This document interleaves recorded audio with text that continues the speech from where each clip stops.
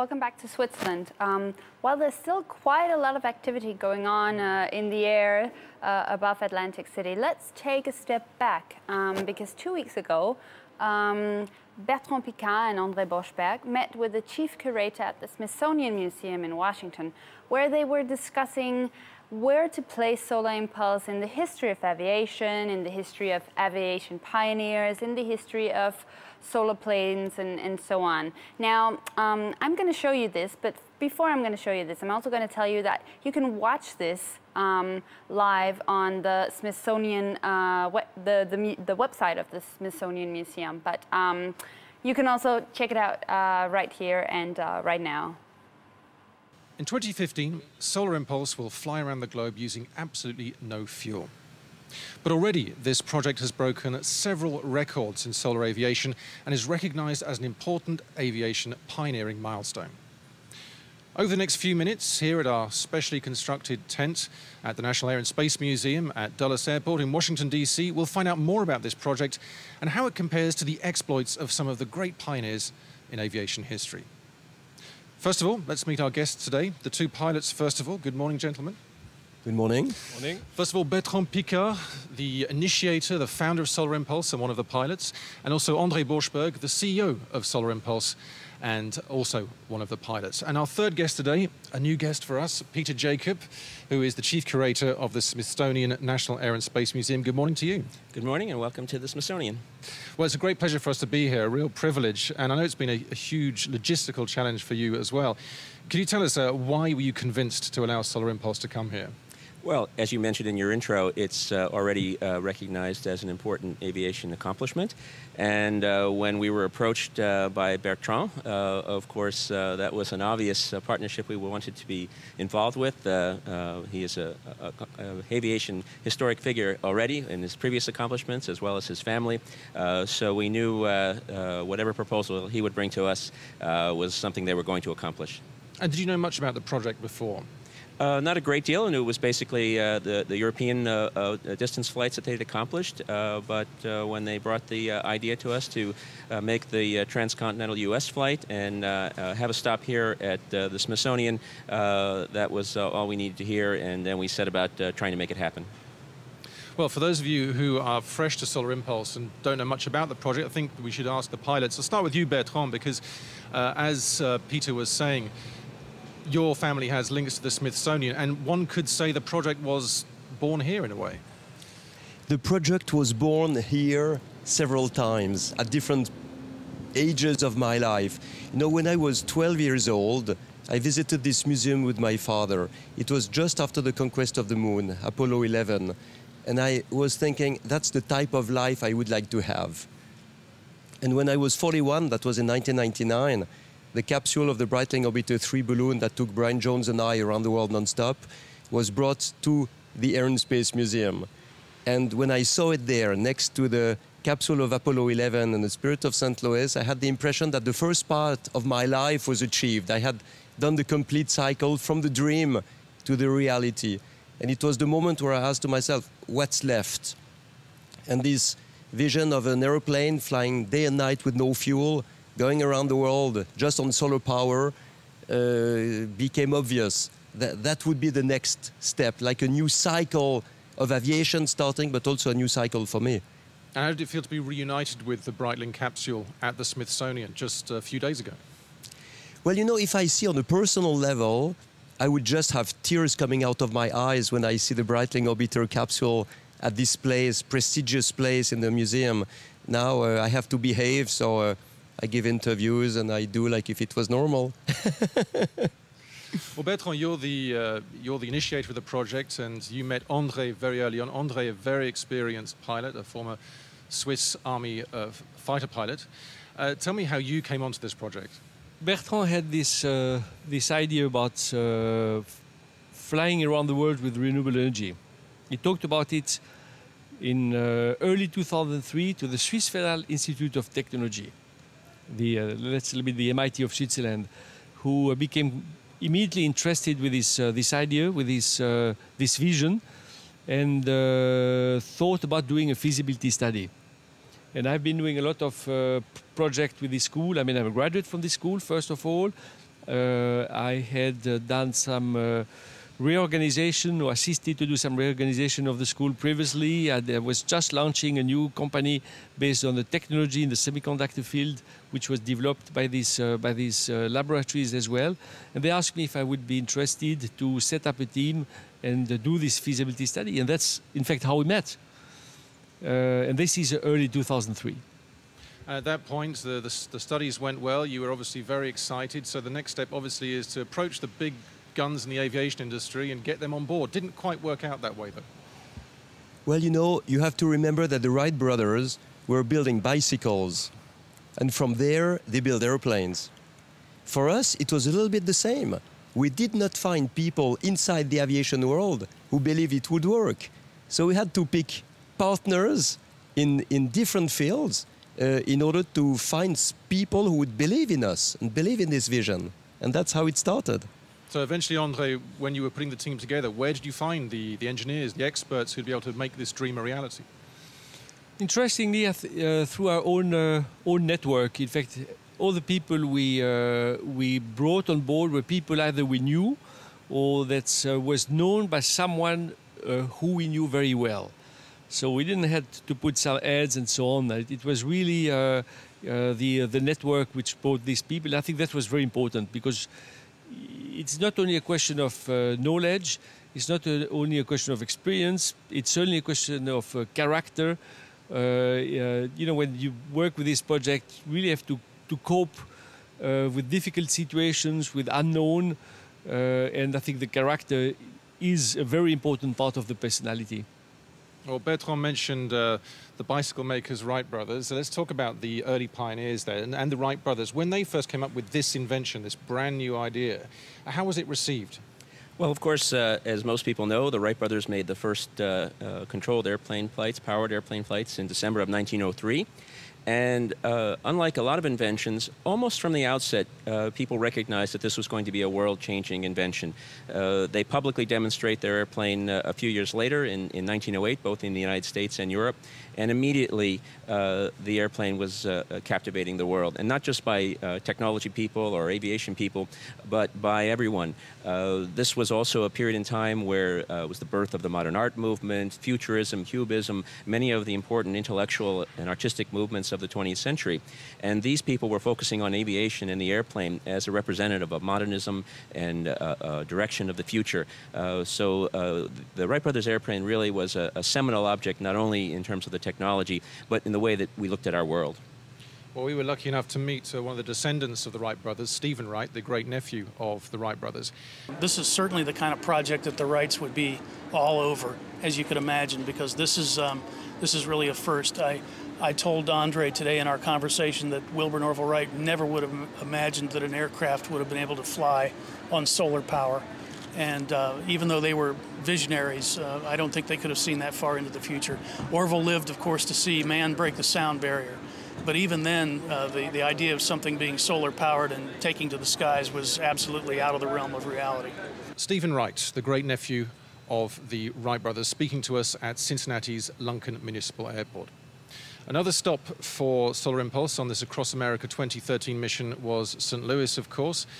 Obviously, that makes us think of the spirit of St. Louis, Lindbergh. How important is Lindbergh uh, in the early days of aviation? Well, Lindbergh is just uh, perhaps the, the great icon of uh, the early days of aviation, or perhaps uh, the whole of aviation. His, his name is synonymous with aviation. And of course, he made his pioneering solo transatlantic flight in 1927. And that did a couple of things. Um, like Solar Impulse, it was to demonstrate the limits and the potential of the technology. Uh, and at those days, the technology of, of uh, internal combustion engine, as well as uh, the aircraft itself. But also, Lindbergh had a powerful psychological impact. Uh, his flight not only uh, achieved something in terms of a great uh, aviation accomplishment, but it inspired people. It, it, it, demonstrated that this technology was not only going to be uh, for the experts, but this was a technology that could evolve into really having an important uh, economic and cultural impact in the world. So Lindbergh represents uh, not only uh, the great talent and courage of so many of the pioneers, like our pilots that we have here today, but it showed the impact of this technology and really the power of aviation. And that's why the National Air and Space Museum is such an important place. It's not just about aviation and space flight. It really is about inspiring people to do things that they didn't imagine they could. And another important aviator who's less well known, Calbraith Perry Rodgers, and his plane, the Vin Fiz. And I'll turn to the pilots first of all. Uh, Calbraith Perry Rodgers, he's, he's not so well known, but it, it, it, was very important what he was doing in this wonderfully named plane, the Vin Fiz, which we saw at the downtown uh, museum of the National Air and Space Museum. He's our new friend because we, we came to know him when we approached the idea of flying across America. Of course, we went into the history books and in the Air and Space Museum to see who, who was the first man to do it. And he, do it, he did it in about three months with several crash. He was injured and he never gave up. Never, never gave up. And the last flight he did was after the final crash in Pasadena. People told him, okay, now you've done it. You're a couple of miles from the, the Pacific. He said, no, I want to do it completely. And he, a month after his last crash, he took off, landed on the beach on the Pacific coast, and put one wheel in the water to show I've done a real coast to coast. We can only admire that. That's absolutely fantastic. Well, Solar Impulse uh, has a much better safety record than the Vin Fiz, but it hasn't been easy, has it, Andre? There have been some uh, very difficult moments. Uh, the weather has sometimes been an enemy. It's been much more difficult than we, uh, that we expected it to be. Uh, and as you rightly say, the weather, I think, was uh, a big part of the learning. And that was a goal also, huh, to learn to fly really in different, different uh, weather conditions. But that's what we found here, find you know, the right window between tornadoes, uh, strong winds uh, in the landings. Our hangar destroyed or the roof of the hangar destroyed two days before arrival, uh, forcing us to use our new technology, the inflatable hangar. But that was also a great opportunity to uh, to test this uh, this uh, new invention. So uh, I think a lot of uh, learnings, a lot of lessons, which will make us much better prepared for the flight around the world. And I think that's also as part of the the goal of this mission across America. Let's talk a little bit now about solar aviation in particular and some of the pioneers of solar aviation. I'll come to you in just a second, Peter, but I'd like to know uh, when you were developing the design of Solar Impulse, uh, who were your main uh, the main people who inspired you in terms of solar aviation? Bertrand first. Well, there's one name. It's Paul MacCready. You know, Paul MacCready is a fabulous pioneer. He started in sailplanes. He gave his name to an instrument, the famous MacCready ring that all the glider pilots know. And he made the first muscular powered airplane when nobody thought it was possible. And he made the first solar airplane when nobody thought it was possible. So the first man I met when I had this first idea, even before talking to the EPFL in Switzerland, was Paul MacCready, of course. And for you, Andrea, uh, you were looking not just at MacCready's designs, but other designs as well. Was there anything that, that stood out for you? Well, I think like all of all of this project, you build on the knowledge developed by your predecessors, if I can put it this way. So uh, everyone brings a piece of the uh, on on uh, what we all try to uh, to build, and uh, for us, everything which tried to reduce the energy consumptions was an inspiration, and the the the extreme one is the people who developed the muscular uh, the muscular powered aircraft uh, because there if you want to fly only you know with your own uh, force with your own strength with your own power as a human being you really have to push the extremes the energy saving so this was a very interesting starting point because to make an airplane fly solar day and night uh, what we had to do is to drastically reduce the energy consumption of the aircraft. That was the only way to be able to uh, to make it. So yes, many projects were very interesting to see what we could learn out of it, out of them. Oh, Peter Jakab, Paul MacCready's Gossamer Albatross, this, this human-powered aircraft, is here at the uh, Dulles wing of the National Air and Space Museum. Um, but solar aviation, this is not the first time you've seen a solar plane. You have some examples of the, the pioneering planes here. Yes, as Bertrand pointed out, uh, Paul MacCready is, uh, is the, uh, the seminal figure in uh, solar aviation. And uh, we have uh, his Solar Challenger aircraft, which in 1981 made a cross-channel flight, solar power. And then more recently, we acquired the Pathfinder Plus, which was also uh, uh, helped develop by Aero AeroVironment, Paul MacCready's firm, with NASA, and made long-distance, high-altitude flights. The aircraft was designed to be essentially a, an atmospheric satellite uh, communications platform, environmental monitoring, that sort of thing, and uh, was predecessor to an even larger solar airplane, the, the Helios, which uh, uh, made an altitude record in 2001 of just over 96,000 feet in a solar-powered uh, unpiloted aircraft. Of course, the accomplishment uh, that we're observing today is a piloted uh, solar aircraft, which is uh, uh, making similar sorts of accomplishments. So uh, we have a long-standing interest in solar aviation and solar technology, and we're looking forward to seeing what our, our, fine pilots can accomplish with this aircraft and their next aircraft, their around the world solar aircraft. Well, Peter, as you're here now, we have the pilots in front of you, the plane in the background. Is there anything that you wanted to ask the pilots directly? Well, I think uh, uh, an aircraft like Solar Impulse uh, mirrors many of the great airplanes in aviation history. Uh, they're all about uh, testing the potential limits of the technology and uh, testing the the limits of the imagination of what designers and and pilots can do.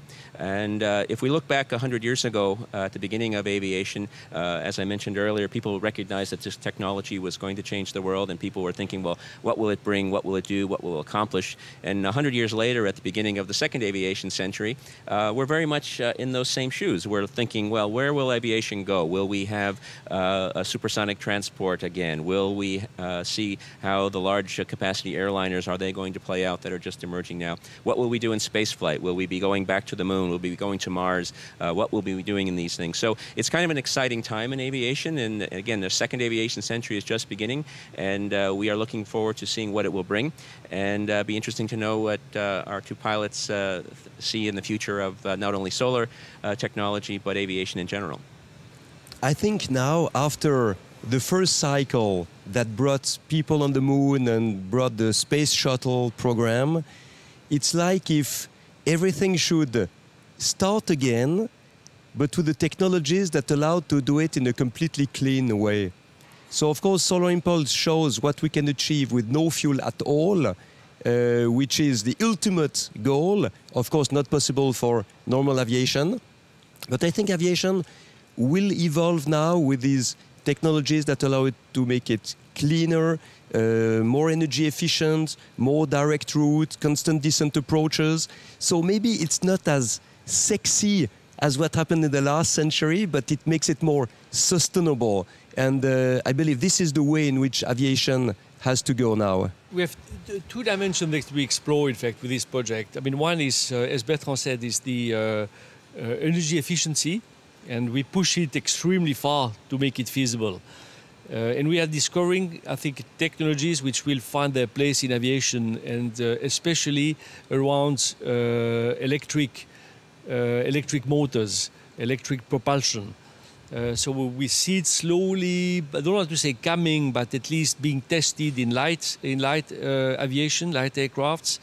Uh, it will find its place because the efficiency is so high that's, that's, that you cannot go around that. I mean, our future engines will have a, an efficiency of 94% compared to about 30% for traditional combustion engines. So the difference is so big that we will certainly find the way to store the energy to make the use extremely interesting.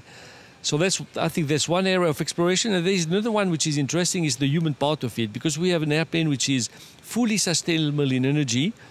And uh, the weakling uh, in our uh, future uh, mission around the world with the solar airplane is the, is the pilot.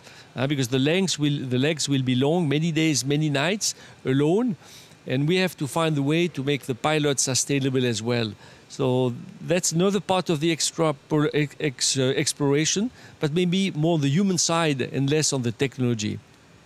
And if you want to see the big picture, I think we also have to observe what aviation brings to the public.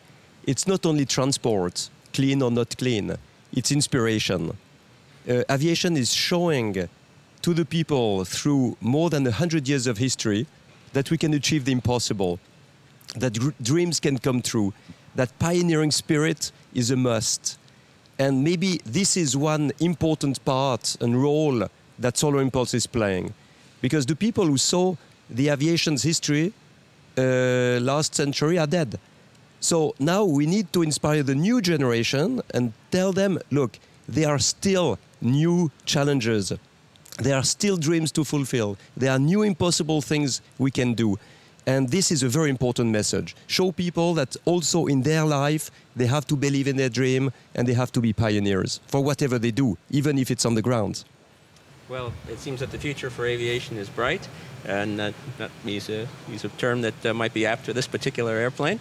And uh, I don't know, Bertrand, you say the future of aviation may not be sexy. Sexy is in the eye of the beholder, I guess. And uh, I think uh, uh, the future is exciting in many ways, and we look forward to seeing your uh, part in it, and uh, that's all what the Smithsonian is all about: is inspiring uh, young people to do great things. And uh, uh, our partnership with Solar Impulse is uh, couldn't be more exemplary of that of that goal for both of us. So we really appreciate having you here.